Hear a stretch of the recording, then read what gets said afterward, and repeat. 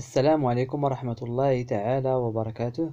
التصحيح الكامل الصرف والتحويل دعم عام الوحدة الثامنة الأسبوع الثاني الصفحة 225 أولا الشكل.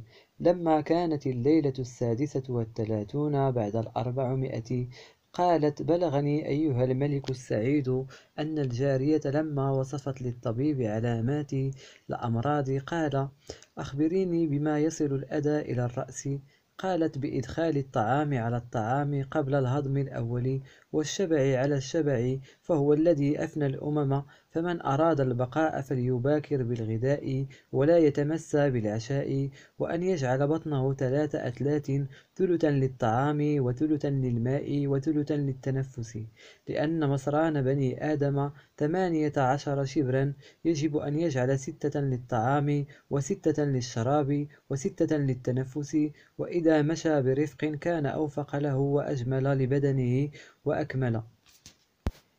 ننتقل إلى أشرح. أفنى بمعنى أنهى وأهلك. يباكر أي أتاه بكرة أي تناوله باكرا. رفق بمعنى لين أو لطف. أبحث عن أسر ما يلي. أخبر آه، خبر أخبار إخبار مخبر. ثم الكلمة الثانية أفنى. إفناء فان. فنية ثم الكلمة الثالثة يجعل جعل جاعل مجعول. ننتقل إلى أجيب. السؤال الأول ضع عنوانا مناسبا للنص العناوين كالتالي الوقاية خير من العلاج صحة البدن تجنب الأمراض. يعني كلها عناوين يعني مناسبة للنص. ثم السؤال الثاني بما يصل الأذى إلى الرأس في نظر الجارية؟ بإدخال الطعام على الطعام قبل الهضم الأول والشبع على الشبع. ثم السؤال الثاني ما النصائح التي قدمت الجارية, الجارية للملك في النص؟ أول نصيحة وهي التبكير بالغداء واجتناب العشاء ثم جعل البطن ثلاثة أتلات ثلث للماء وثلث للطعام وثلث للهواء وكذلك المشي برفق. السؤال الأول في التراكيب أضع الجملة التالية في ترسيمة مناسبة كان أوفق له وأجمل. كان ناسخ فعلي اسمه ضمير مستتر غير موجود. أرفق هو خبر كان له جار ومجرور. لدينا اللام هي حرف الجر والهاء ضمير متصل في محل جر اسم مجرور. ثم الواو هي حرف عطف أجمل ومعطوف. ننتقل إلى الإعراب. أعرب ما تحته خط. الملك منادى مبني على الضم. شبرا تمييز منصوب. ستة مفعول به منصوب. يجعل ستة. ماذا يجعل؟ ستة. ستة جاءت مفعول به.